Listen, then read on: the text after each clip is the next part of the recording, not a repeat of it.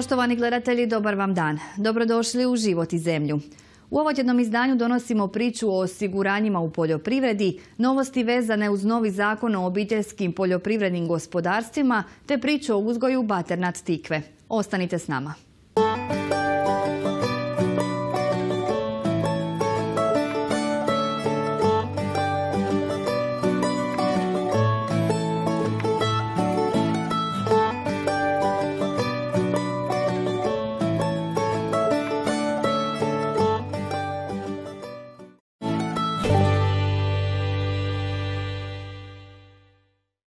Štete u poljoprivrednoj proizvodnji uzrokovane elementarnim nepogodama često dosežu enormne cifre.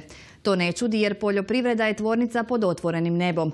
Nedavna mjera 17.1 osiguranja usjeva životinja i biljaka koju provodi Ministarstvo poljoprivrede i Agencija za plaćanje u poljoprivredi, ribarstvu i ruralnom razvoju ipak je polučila dobre rezultate.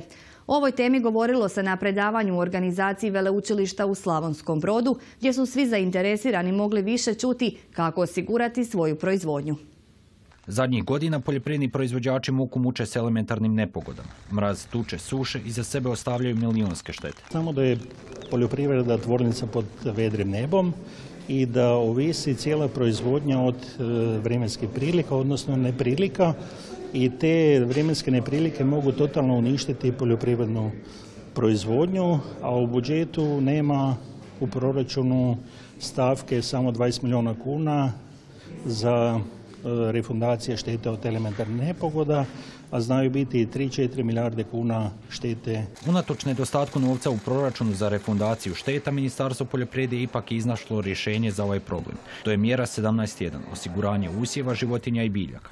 A da bi se građane bolje upoznalo s time, Veleučilište u Slavonskom brodu organiziralo je predavanje upravo na tu temu. Ovo je nastavak serije javnih predavanja koje Veleučilište organizira u zadnjih godinu i nešto dana. Od e, ekonomske djelatnosti kad ne bi bio ministar financija, naš brođanin gospodin Marić, do inovativnosti iz perspektive Izraelaca koji su pioniri u tome preko sportskih aktualnosti, sad je na red došla i poljoprivreda. To je jedan iznimno važan aspekt ne samo zbog činjenice da mi imamo poljoprivredne studije, nego i zbog sve upečatljivijih klimatskih promjena koje daju svoj obol na poljoprivrednu proizvodnju, a e, ako u to uključimo i trendove na globalizacijskom tržištu, onda pitanje osiguranja poljoprivrednih i usjeva i proizvoda dobiva dodatno na važnosti. Mi smo to prepoznali i angažirali našeg i prijatelja i dugogodišnjeg vanjskog suradnika, docenta doktora znanosti Josipa Haramiju iz Ministarstva poljoprivrede koji će nam danas biti gost i evo kroz ovo predavanje namijenjeno i studentima našim i učenicima ovdje srednje škole Matija Anto Reljković pokušati približiti aktualnosti iz tog sektora. Pa možete malo vaš e, poljoprivredni odjel predstaviti E, što se točno predaje, e, na čemu se daje naglasak i naravno malo nam ispričati o tom spoju e, učenja, studiranja i poljoprivrede.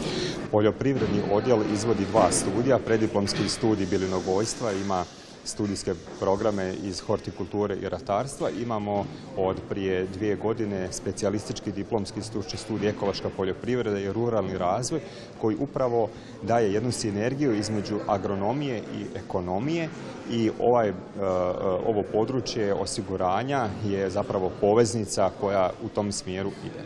Mi smo e, kroz ovaj niz godina pokušali studentima omogućiti što kvalitetniju nastavu. U zadnje dvije godine svjedoci smo da smo državno zemljište u Slobodnici koje smo dobili od Agencije za poljoprivredu preuredili tako da studenti tamo imaju svoje pokusne parcele.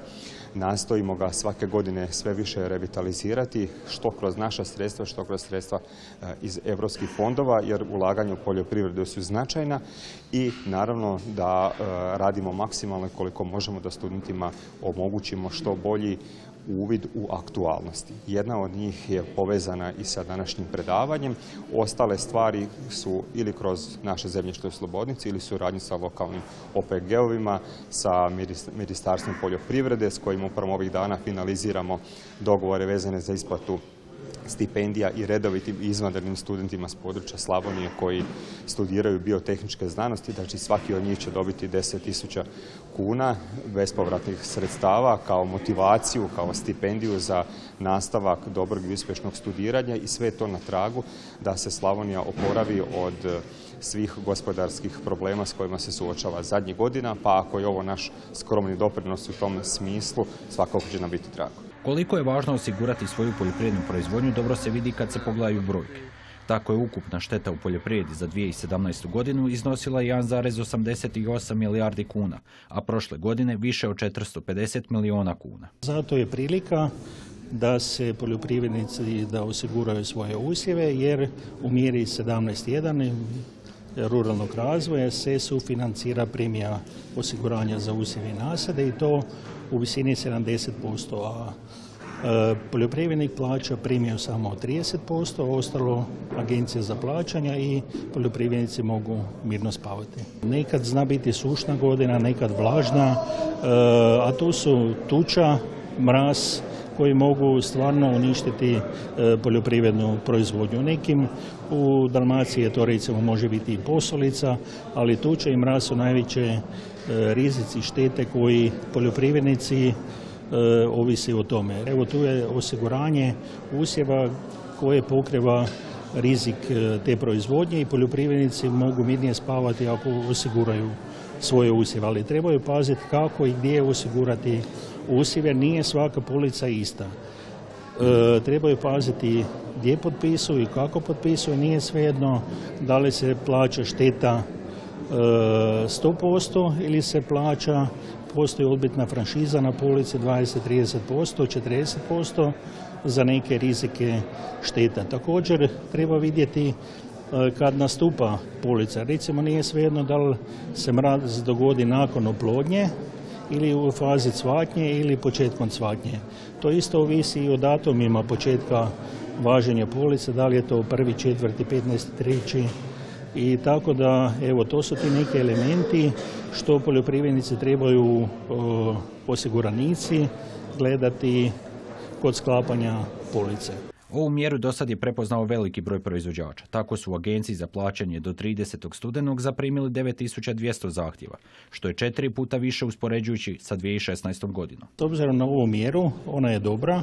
Prije je bilo e, sve štete preko 30% su se plaćale iz te mjere, sada je to 20%, znači sve preko 20% e, po toj polici e, su osigurane štete. No, međutim, ja preporučam da poljoprivrednici uzmu i ovu policu do 20%, drugu policu, koja nažalost nije sufinancirana, da pokriju rizike šteta i do 20% šteta u poljoprivrednoj proizvodnji. Postoji načini kako proizvođači mogu sami prevenirati moguće štete. Recimo ne, u nekim tehnologijama voćnjacima e, postavljanje mreža se e, gotovo isključuje rizik e, tuče, ali mraz je taj opet treba ulagati u, u kišenje, u isto u zaštitu od mraza. Sudionici predavanja ističu, ova mjera je napredak. Donedavno se proizvođačima koji nisu osigurali nasade i usjeve isplaćivalo svega nekoliko posto nastale štete. Štete u poljoprivrednoj proizvodnji za ovu godinu nemam podataka,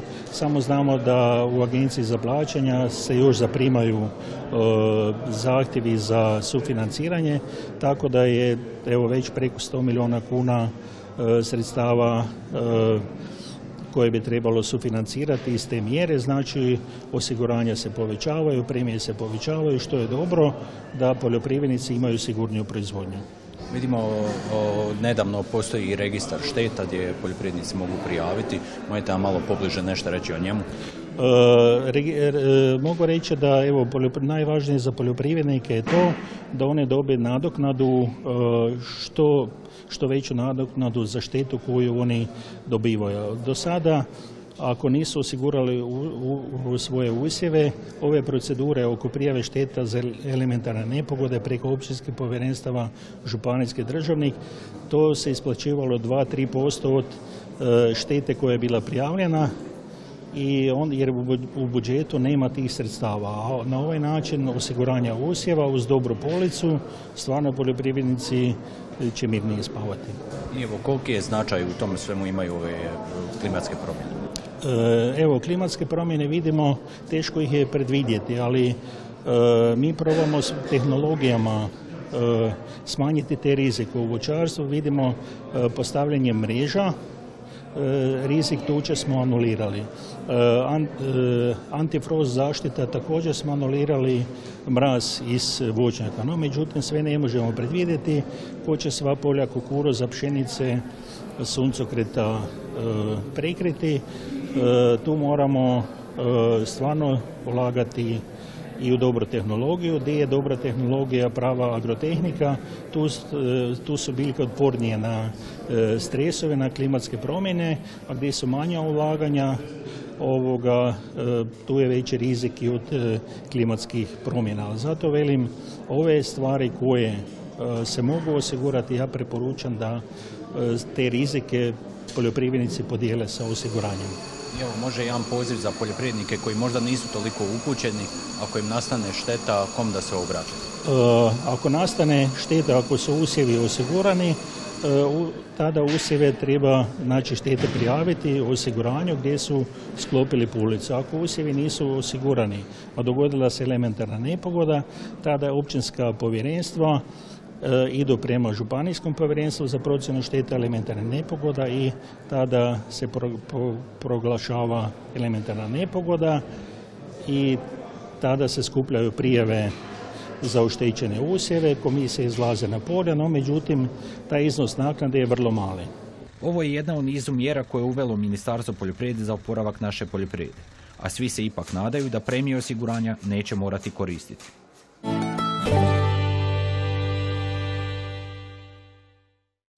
Zakon o obiteljskim poljoprivrednim gospodarstvima izmjenjuje se iz godine u godinu, pa Hrvatsku ponovno očekuju izmjene velikog poljoprivrednog područja. Novi zakon o OPG-ima predviđa konačno sređivanje tržišta od gotovo 75 tisuća poljoprivrednih subjekata. Prema novim pravilima OPG-ovci višak proizvoda moraju prodati neprerađen, a krenuli u finalizaciju proizvoda morat će i registrirati dodatnu djelatnost. Na snazi i dalje ostaje odredba da prijeđu li na godišnjoj razini promet od 80.500 kuna moraju ući u sustav oporezivanja.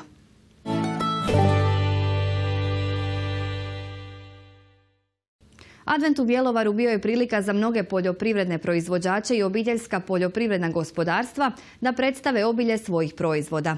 Tako je naša ekipa razgovarala s proizvođačem Baternat tikve iz okolice Bjelovara.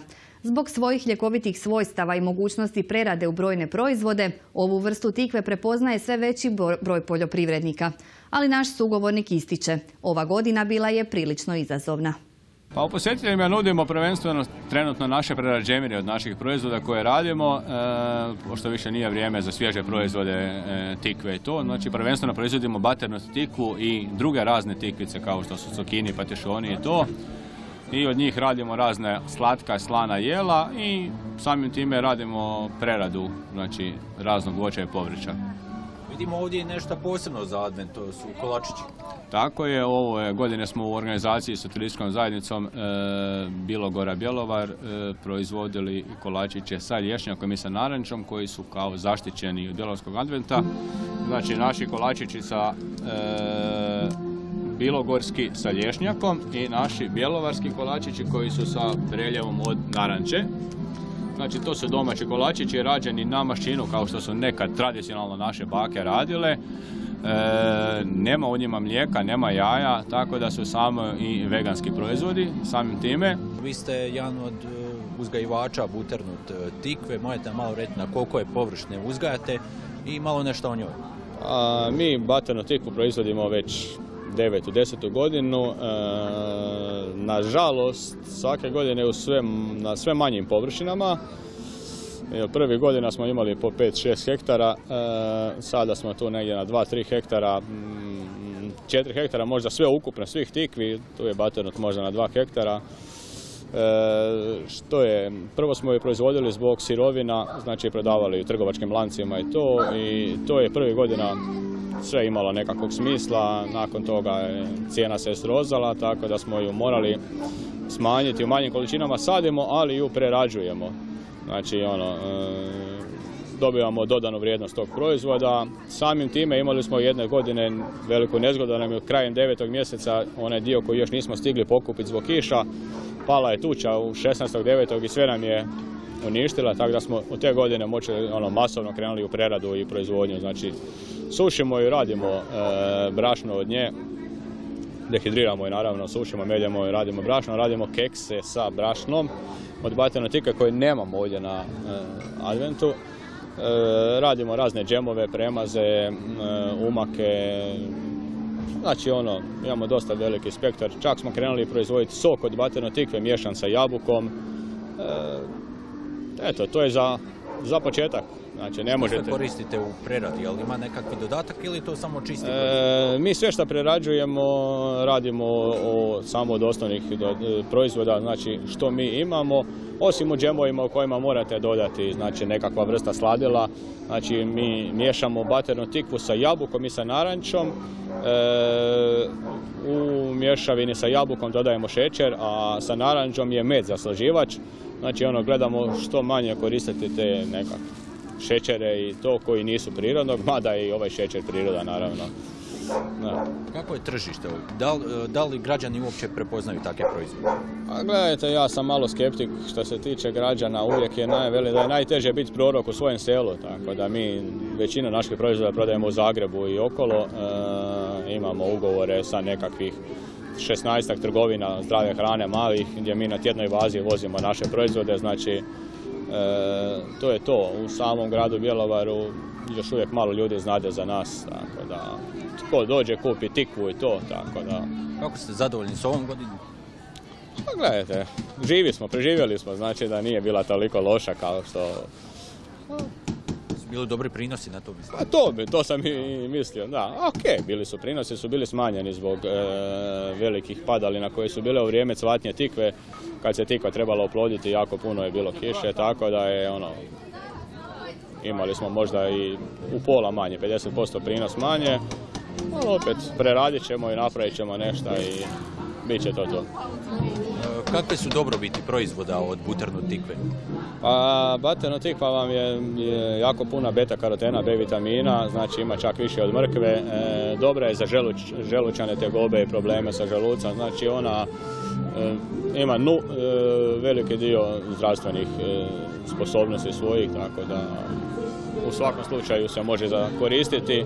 Znači, ona nije lijek. Masa ljudi pita zašto se jede tikva. Tikva se jede nekakve preventive zdravstvenog, sve kad jedete zdravo domaće. Ona vas neće izliječiti ako vi cijeli život jedete nezdravo, pojedete dvije tikve i nećete biti zdravi zbog toga. Tako da, taj dio ljudi moraju razumjeti. Mi vidimo da osim e, buterne tikve e, na svom gospodarstvu imate još različite vrsta voća od kojih pravite različite vrste proizvoda.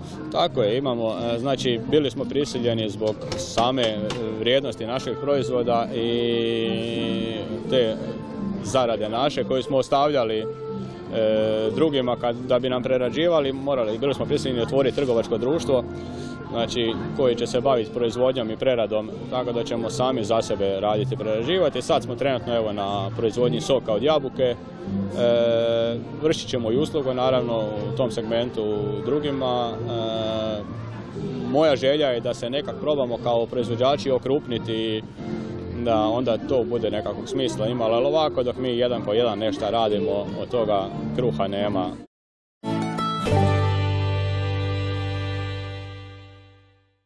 To bi bilo sve za ovaj tjedan. Život i zemlju gledajte i sljedeće nedjelje kada vas očekuje pregled poljoprivredne godine. Doviđenja.